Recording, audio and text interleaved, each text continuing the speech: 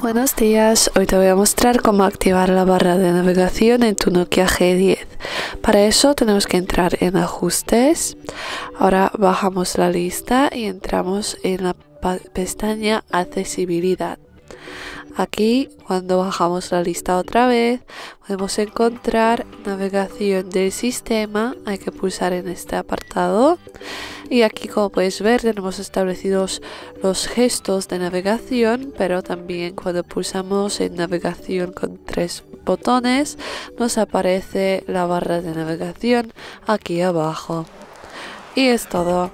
Muchas gracias por ver el video, te invito a dejar un like, comentar y suscribirte a nuestro canal.